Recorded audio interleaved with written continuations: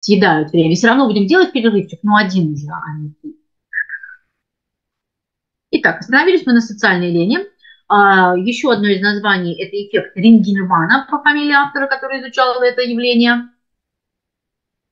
А, социальная лень – это проявление нашей, с одной стороны, обычной лени, а с другой стороны, в том числе и следствие деиндивидуализации, о которой мы говорили чуть раньше, а, вот этого эффекта растворения в группе, размывания ответственности. К чему приводит? К тому, что в группе работоспособность ее членов может снизиться на 50% по сравнению с их обычной работоспособностью. То есть люди начинают, смотрите, как красиво звучит, экономить усилия при совместном выполнении какой-то деятельности. Всегда говорю студентам, аспирантам, магистрантам, берите на вооружение правил. Я не ленюсь, я экономлю усилия. Ну, фактически так и есть. Я думаю, любой, кто работал какой-либо группе, а, с этим сталкивался. А, ну, действительно, зачем самому напрягаться, когда нас тут много? А, как бороться? Как это лечится? Это лечится как?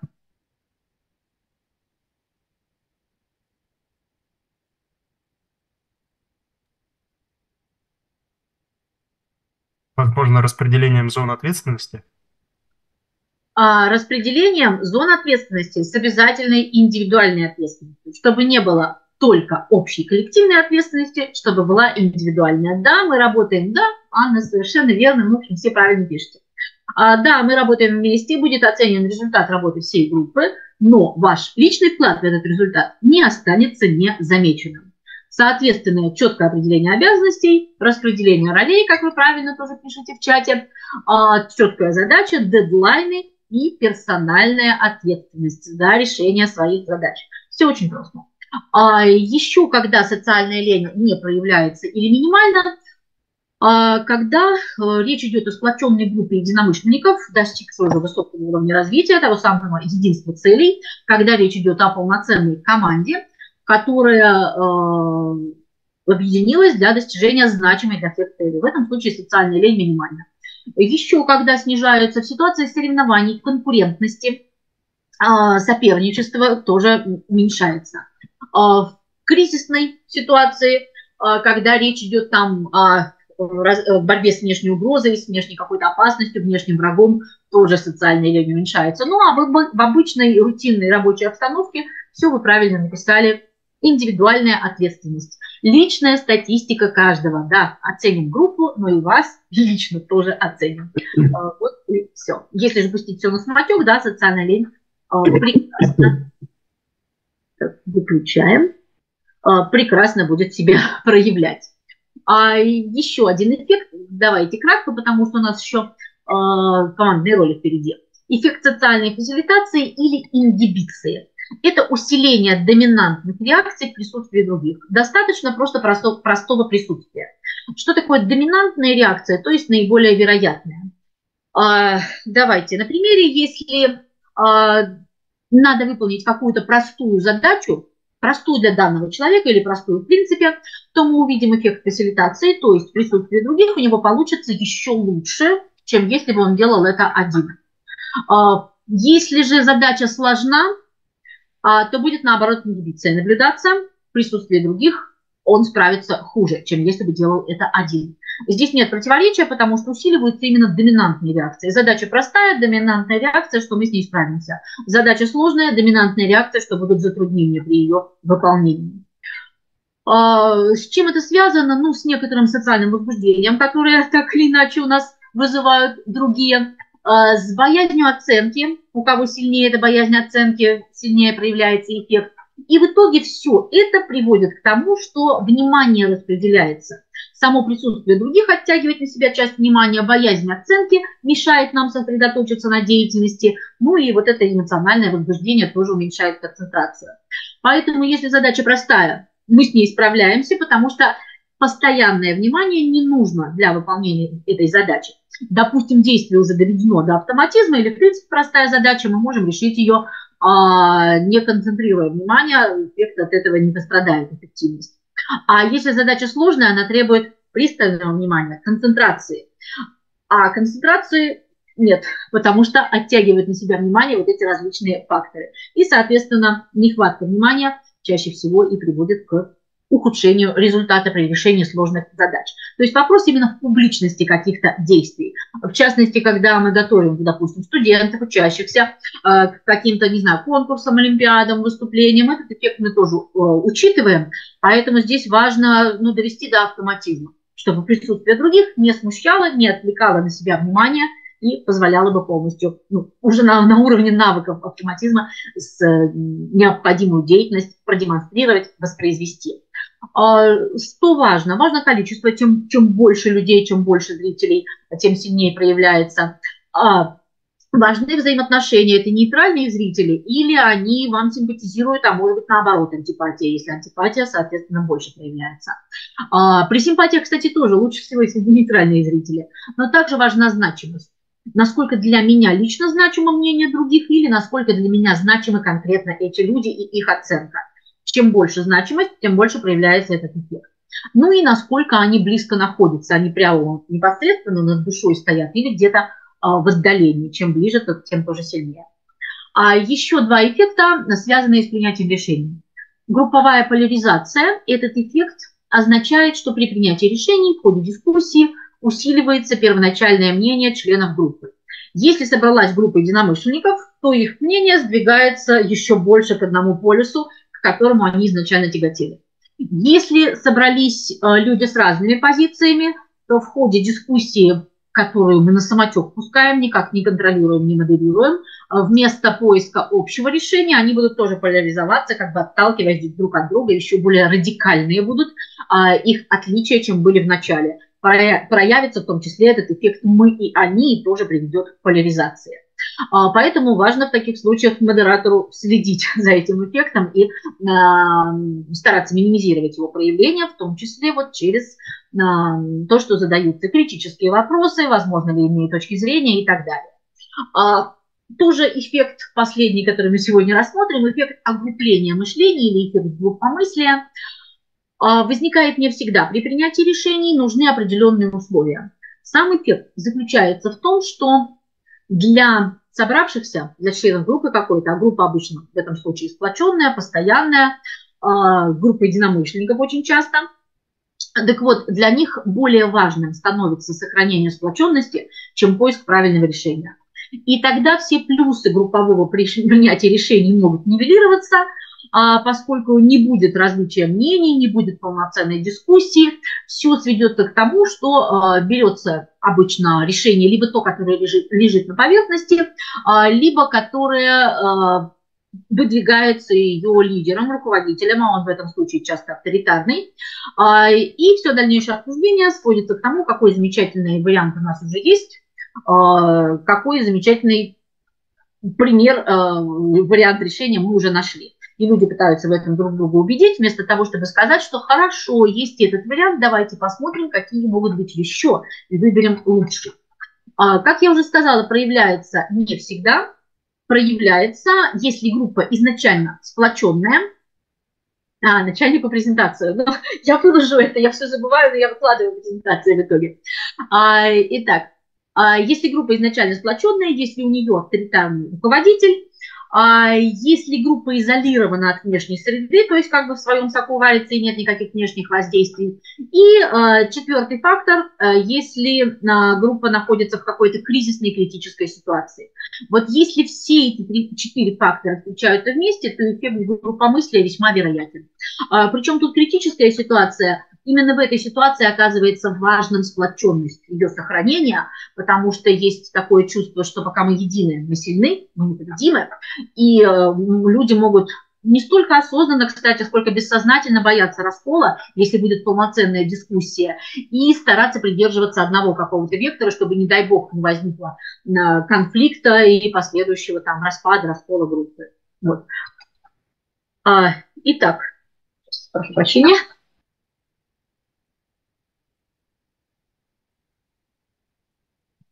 Прошу прощения, отвлеклась.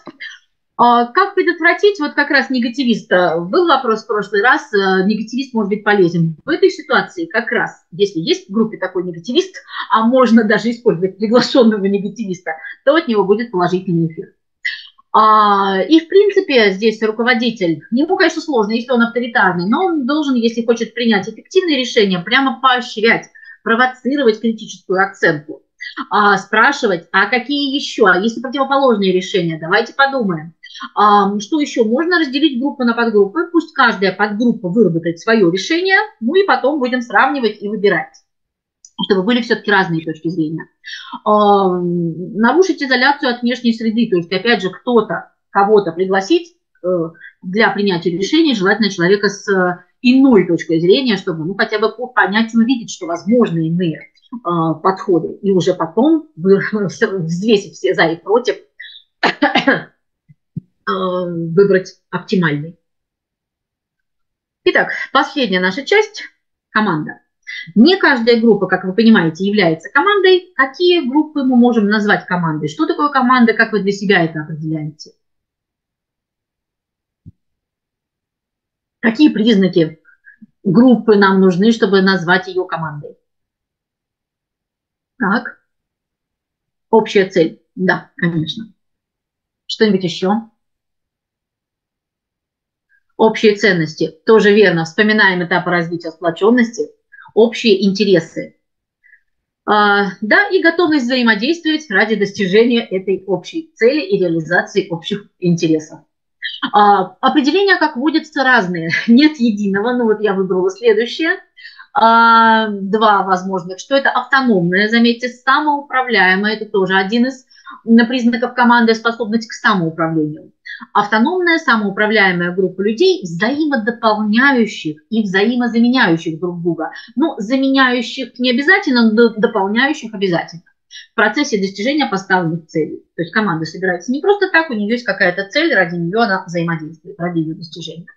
А, и а, другое определение, что это особая форма организации людей, основанная на продуманном позиционировании участников, то есть каждый понимает свою позицию в команде, свою роль в команде, а, и, естественно, эти люди имеют общее видение ситуации, понимание стратегических целей и владеют процедурами взаимодействия. То есть это группа, которая достигла высшей степени сплоченности. Знаете, в советское время так говорили про коллектив. Коллектив – это высшая степень развития группы. Ну, сейчас мы такие группы называем командами, э, ну, от названия, в общем-то, не меняется суть.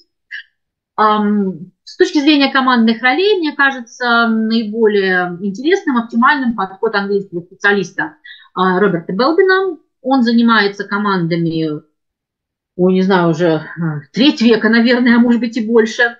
Работал с разными командами, по его словам. Это и команды экспериментальные, искусственно созданные, это и команды реально работающие. Э, но он не командир, он исследователь со стажем, да. Это и команды студентов, это и команды топ-менеджеров – самые разные. Ну и видите его фразу «несовершенные люди могут создать совершенную команду». В итоге он пришел к выводу, что оптимальная численность команды 5-7 человек. А, о чем мы с вами говорили тоже, да, примерно в этих рамках остановились. Но есть еще мнение потолок 7 плюс-минус 2, то есть до 9, но вот оптимально 5-7. Конечно, э, все зависит от конкретных условий, от сложности задачи, то есть мы на этой цифре не зацикливаемся. Но при этом а, в команде должно быть 8 ролей, по мнению Болдина. А, почти все они обязательны. Сейчас мы с ними познакомимся. Там есть некоторые роли, как минимум одна, которая не всегда нужна.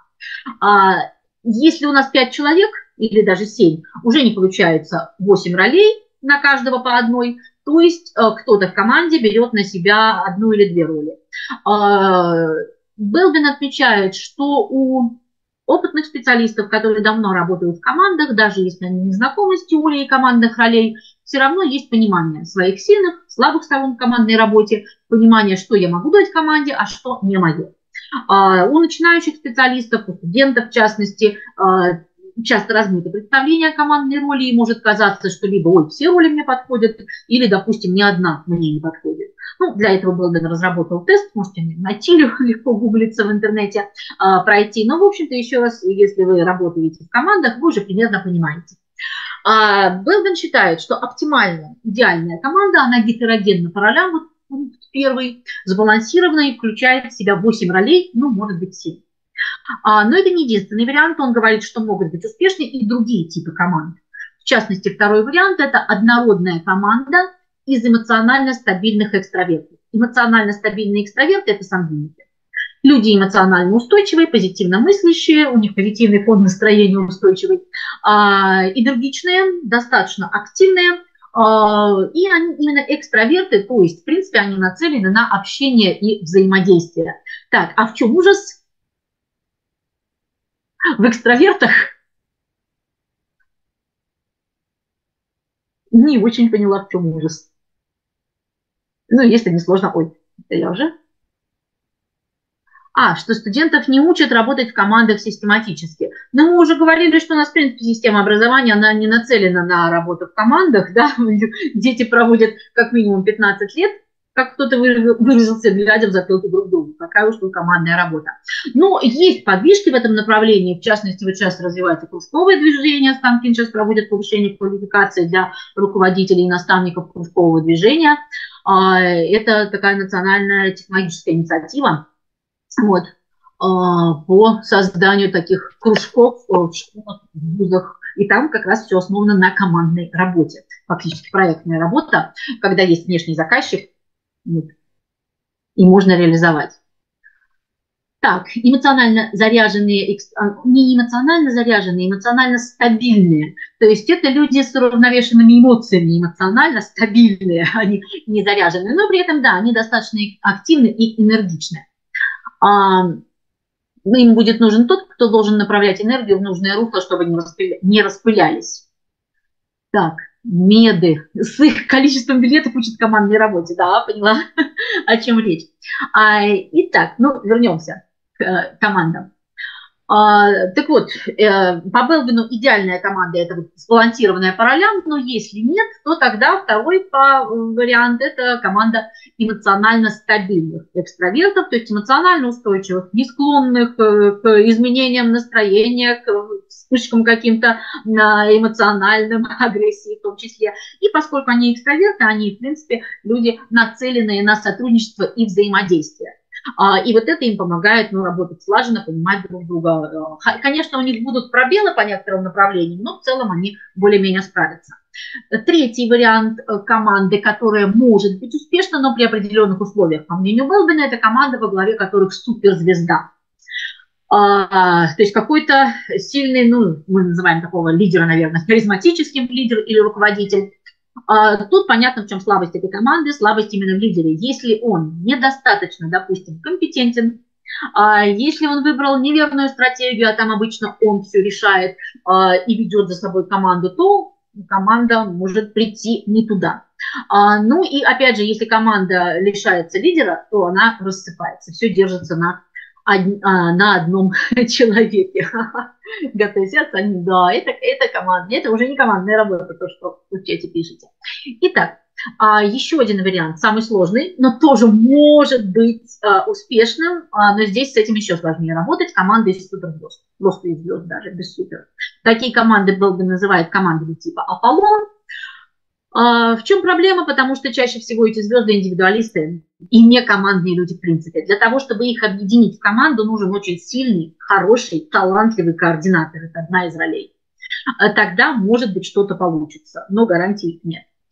А, итак, у каждого из нас обычно есть одна командная роль, но может быть еще э, к этой основной одна-две дополнительных.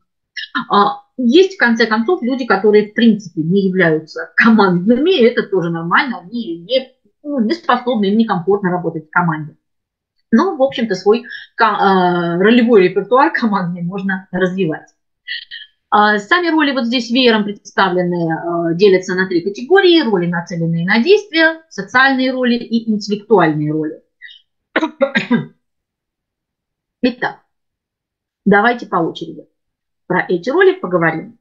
А, поскольку Белби на последнее время много переводили, разные переводчики по-разному эти названия переводят. А, поэтому я включила сюда английское название, ну и буду говорить, какие еще возможные варианты на русском языке. А, реализатор, он же исполнитель, он же рабочая пчелка. Белбин говорит, что это основа любой команды. Это человек, благодаря которому достигается результат. Он отвечает за то, чтобы делалось дело. Кто какой по психотипу человек будет хорошим реализатором. Спокойный, уравновешенный, консервативный, А, такие люди лучше всего работают в понятных, предсказуемых, прогнозируемых условиях, когда у них есть четкая цель, составлен четкий план, они, не торопясь, не, не работают обычно рывками, авралами, а так, не торопясь, размеренно двигаются а, в нужном направлении, реализовывают этот план. В нестабильных условиях им сложнее. Это не значит, что они не справятся, справятся тоже, просто сложнее. Максимально эффективно они в прогнозируемых и стабильных, понятных им условиях. А, также понятно, что это человек с чувством развитого долга. Вот с развитым чувством долга, прошу прощения, уже оговариваюсь, а, с высоким чувством ответственности. А, ответственности. Это Они... большая проблема. Найти такого человека? А то. Нет, жить, жить с этим это большая проблема. А жить с этим, жить с этим, ну да. А, итак, они ориентированы не просто на то, чтобы сделать дело, но чтобы сделать его хорошо, с хорошим качеством. Вот. И Белман говорит, что без реализатора, ну, собственно, ничего не будет. Будет, может быть, много идей, будет хорошая атмосфера, а, но результат под вопросом.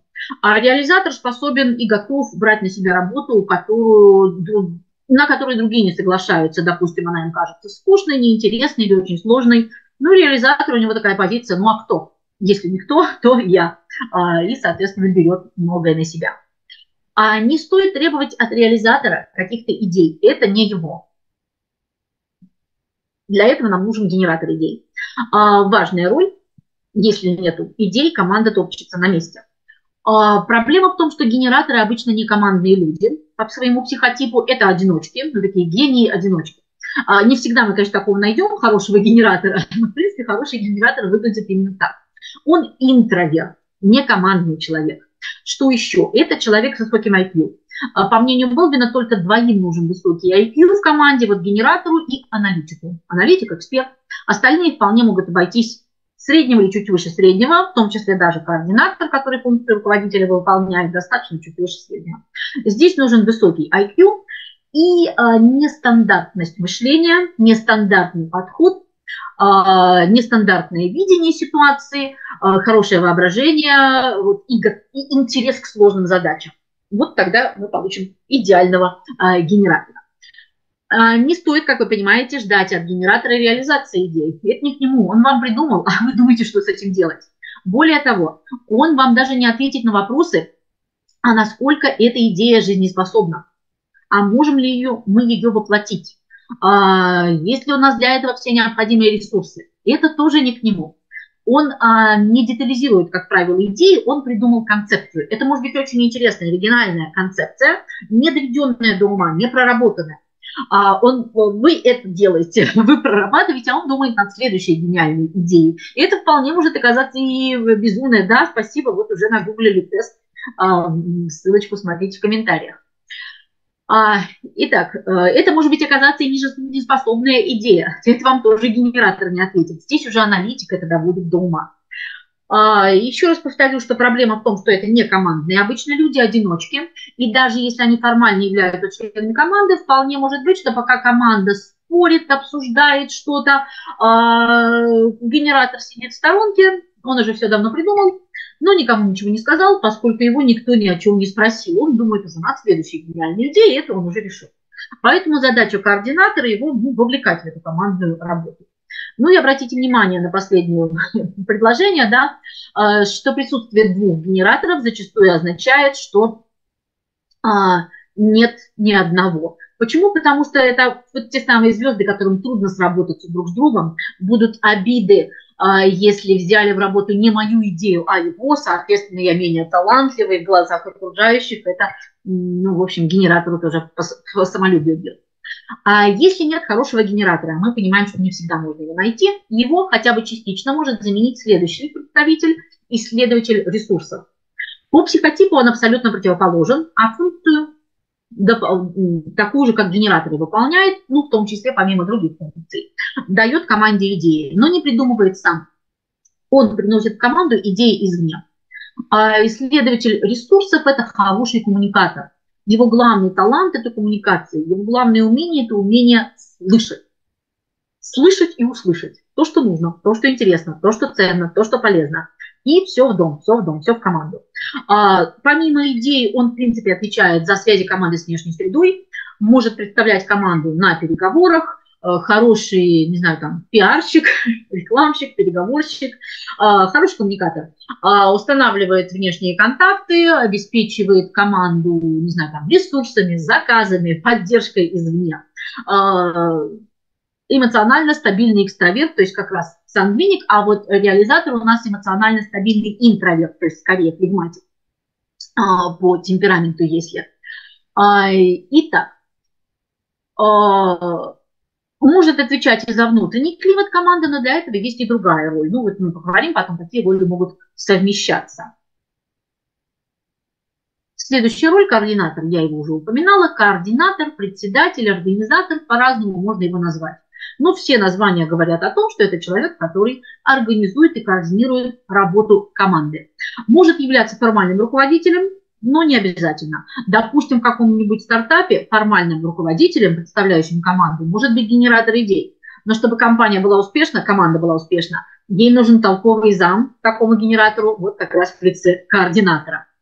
А, тоже эмоционально стабилен, спокоен, уравновешен, тому же умеет принимать решения не только за себя, но и за команду, умеет э, брать на себя ответственность, опять же, не только за свои действия, но и за командную работу, за общий результат, э, достаточно терпим, ну, до определенного предела, вот, э, уверен в себе, ну и, как я уже сказала, умеет принимать решения, брать на себя ответственность.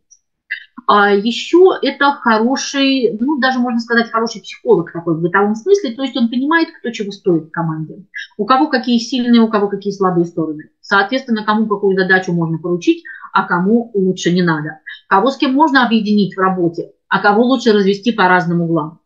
А, и он понимает ресурсы и возможности каждого члена команды, а также хорошо понимает общий потенциал команды, ее сильные и слабые стороны – ну и э, старается максимально эти ресурсы использовать для достижения результата. Организует, координирует работу, распределяет задачи, а, но обычно склонен к демократическому стилю управления, но при необходимости может проявить твердость и единоличное решение. Мотиватор. Вот это как раз роль, которая, по мнению Голдена, не любой команде нужна. А, поскольку мотиватор, мотиватор, творец, шейпер, разные есть названия, ни одно из них, по-моему, не отражает сути этой роли до конца. А, это человек очень энергичный и активный, и эмоционально неуравновешенный, вспыльчивый, импульсивный, а, прямолинейный. Все, что думает, говорит как есть, не подбирая выражений, как говорится, правду матку в глаза. При этом он целеустремленный очень, и сам, и других подталкивает, э, буквально вот э, ну, заставляет, очень раздражается, если его не понимают, если команда не проявляет нужной активности. Белбин отмечает, что хорошую слаженную команду он может разбалансировать. Вот. А когда он нужен, когда команда пассивна, вот мастер секунду писали, вот, когда команда пассивна, когда команда переживает период застоя, когда ничего не происходит, какое-то болото, и вот нужен такой э, мотиватор, который всех заставит. А еще он хорош в период кризиса. Потому что в кризисе он чувствует себя как рыба в воде. Пока другие в растерянности, э, обдумывают, что и как, он берет быка за рога. Это деятельный очень человек, трудности его не пугают. А, и э, ему, наоборот, интересно в кризисе, это вызов для него. А, и он и сам хорошо справляется с кризисом, и других может э, мотивировать, направить в нужном направлении.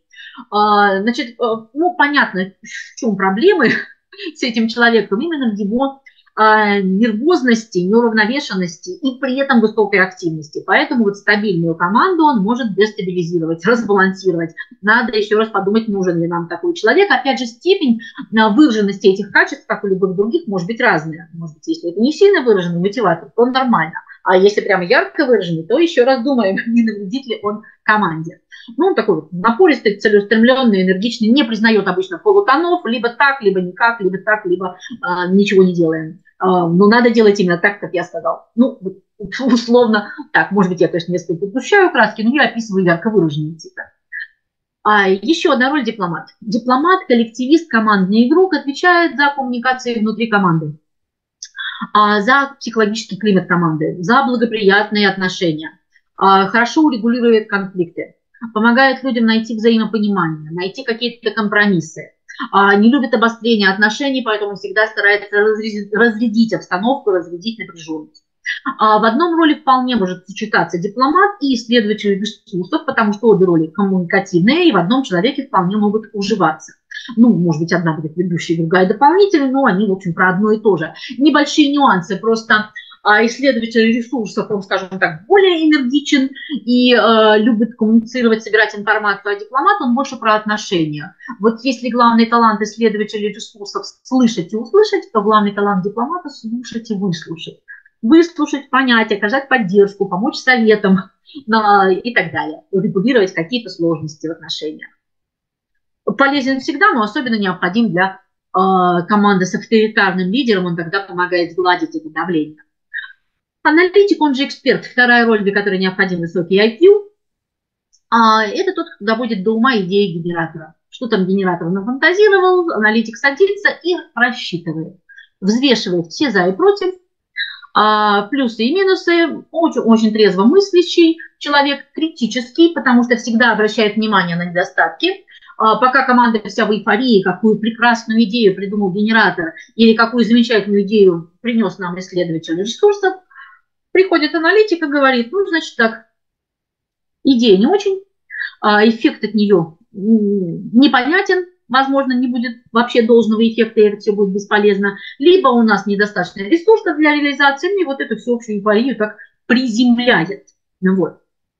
А если команда будет состоять из одних аналитиков, они решения не примут никогда, ну, во-первых, потому что они будут видеть только сложности и проблемы, а во-вторых, потому что они нацелены на бесконечный анализ. Это люди процесса, а не результата. И задача координатора здесь а, вовремя остановить аналитика, сказать достаточно, потому что самому аналитику всегда будет казаться, что еще не весь объем информации проанализирован, не все данные учтены. А, и он очень э, внимателен к деталям, такой дотошный, часто окружающим кажется занудным. Вот, ну, поэтому, повторяю, задача координатора вовремя сказать «достаточно, спасибо». А, еще одна роль контролер. Тоже отвечает за результат, по психотипу схож с реализатором, а, тоже обладает высоким уровнем ответственности, нацелен на достижение хорошего результата, но он более тревожен, чем реализатор. То есть могут уживаться в одном человеке эти две роли, но одна будет ведущей, как правило. Так вот, отличие именно в тревожности, в некоторой даже невротичности, он беспокоится. Реализатор спокойно, размеренно работает, не обращая внимания на какие-то помехи, стараясь не обращать внимания и не выбиваться из графика. А контролер, он обращает внимание на возможные сложности, трудности. Вот аналитик обращает внимание на проблемы при анализе, на этапе анализа, а контролер обращает внимание на проблемы и сложности уже на этапе реализации. И он всегда напомнит про сроки, он всегда беспокоится, а не выбиваемся ли мы из графика, а соответствует ли результат э, заявленным необходимым требованиям. А, и он и себя, в общем, этим а, подстегивает с одной стороны, с другой стороны нервирует, но и других тоже. Вот он старателен, добросовестен, ориентирован на высокое качество работы, но а, тревожен при этом. Он, как и э, аналитик, страхует команду от ошибок, связанных с возможными ну, в общем, упущениями, на которые другие не обратят внимания, как аналитик, он тоже внимателен к деталям, именно, повторяю, вот в процессе деятельности. Ну, а это 8 основных ролей в тесте, как раз они, а потом Болдин добавил девятую роль, а, сказал, что команде, конечно, иногда нужен консультант, узкий специалист по каким-то вопросам, все члены команды должны быть специалистами в той области деятельности, над которой команда работает, но иногда нужен а, узкий консультант, э, обладающий вот какими-то профессиональными знаниями, и он не обязательно даже может быть постоянным членом команды, а именно вот э, помогать ей э, в определенных вопросах выступать как именно эксперт по конкретным вопросам. То есть вносит свой вклад, скажем так, на узком фронте. Ну, в общем, собственно, вот они еще раз эти роли.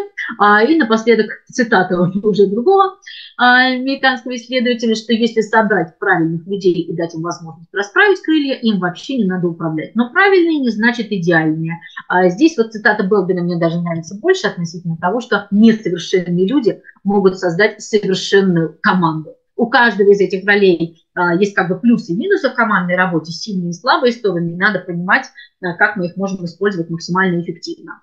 А, кто-то в работе сталкивался с командным подходом. Иногда я слышу, да, у нас на работе такое есть, но это редко. Или вот, а, опять же, сейчас мы проводим повышение квалификации для кружкового движения. Там тоже рекомендация формировать команду студентов или школьников а, с учетом командных ролей. И один из слушателей сказал, что да, стали использовать командный подход и увидели результативность лучше, и работа группы тоже стала лучше. Кто-то сталкивался?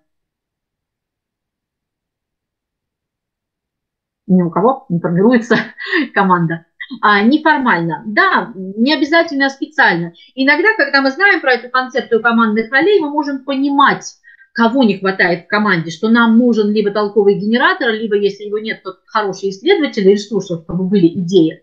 А, и мы специально его ищем. А иногда команда, да, таким образом подбирается, что там все сбалансировано. Неформально таким образом присутствуют эти роли.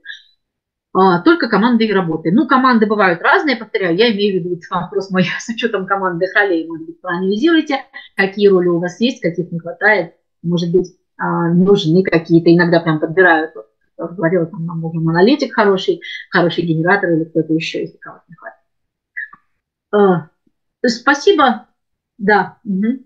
на, аутсорсе, да, возможно. Ну, особенно вот последний специалист, он вообще часто на аутсорсе в команде бывает. Э, спасибо за внимание. А, если нет ко мне каких-то вопросов, а, можем завершать. Э, ну и в следующий раз э, поменяю ссылку. Надеюсь, что вебинар РУ попробуем. Надеюсь, что хорошо пойдет. Без этих перерывов. А, не то, что команды не хватает рук и денег. Денег, денег всегда не хватает, само собой. Иногда особенно не хватает. Да. А команды рук, ну, вопросы, да. Не всегда, потому что нам же не просто нужен какой-то аналитик или генератор, нам же нужен определенного профиля, определенной специальности, разбирающейся э, в вопросах человека.